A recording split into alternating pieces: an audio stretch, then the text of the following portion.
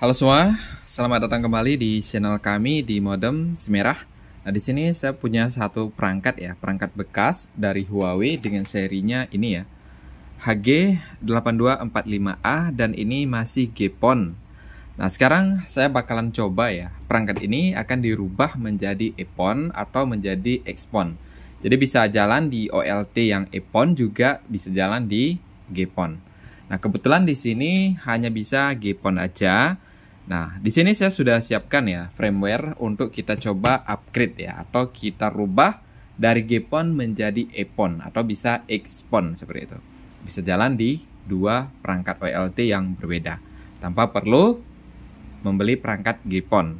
Oke ya, untuk prosesnya di sini saya mau menggunakan ini ya kabelan nanti satu ujung saya hubungkan ke PC ya seperti ini sekarang kita bakalan coba mengupgrade HG8245A menjadi EPON nah sedangkan ini masih GPON ya teman-teman ya sekarang kita bakalan coba rubah ya apakah bisa perangkat ini kita rubah menjadi EPON Pertama di sini kita membutuhkan yang namanya firmware yang sudah EPON. Kita tinggal masuk aja ke sistem.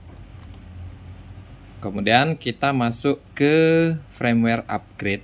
Nah, kemudian di sini kita tinggal browse. Kebetulan di sini firmware-nya sudah kita siapkan ya. tinggal buat yang ini dulu ya. Kita rubah expon. Seperti ini, kemudian kita tinggal upgrade. Nanti kita tinggal tunggu aja sampai muncul tulisan restart. Kalau sudah seperti ini, kita bisa tekan restart dulu ya untuk merestart perangkat. Dan sambil kita nunggu, kita bisa cek ping ya. Kita coba ping ke alamat IP gateway-nya seperti ini. Kita tunggu aja sampai nanti tulisannya replay kembali dan kita tinggal masuk lagi.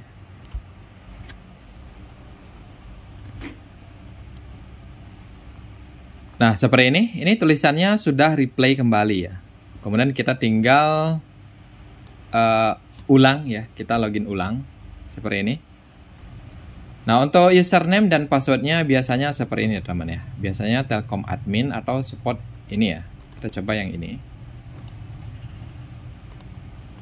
Kita copy aja dan kita paste di sini, kita login.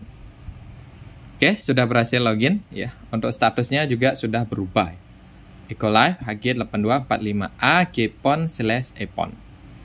Nah, yang terakhir kita tinggal upgrade uh, firmware-nya, teman-teman ya. Kita rubah firmware-nya untuk perangkat ini lebih stabil lagi ya. Kita masuk ke sistem firmware, kemudian di sini browse.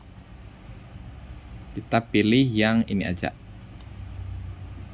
Ini yang lama ya. Sedikit lebih lama. Kita pilih. Kemudian kita tekan upgrade. Supaya ya supaya perangkat ini lebih stabil nanti teman-teman.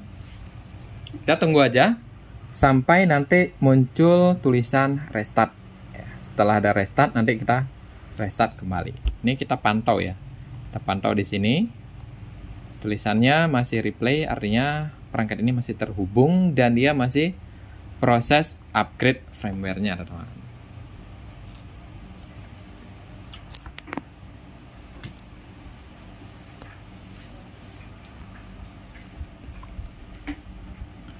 Oke, okay, uh, eh, di sini sudah sukses ya. Nah, ini sudah upgrade sukses ya. Sekarang kita tinggal restart. Sudah muncul tombol restartnya, kita restart aja. Oke, okay. seperti ini. Dan kita tunggu sampai si perangkat ini kembali lagi. Nah, ini sudah destination host encrypt cable. Ini sudah mulai restart. Kalau dia muncul tulisan replay, nanti dia sudah terhubung kembali ke laptop kita ya.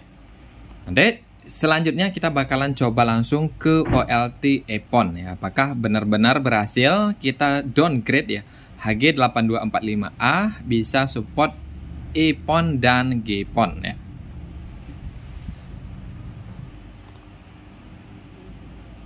Oke, mantap ya. Ini sudah berubah.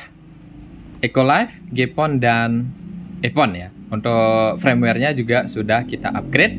Nah, sekarang kita sudah berhasil merubah si HG8245A menjadi support GPON dan EPON. Nanti kita bakalan langsung testing ke perangkat OLT apakah benar ya.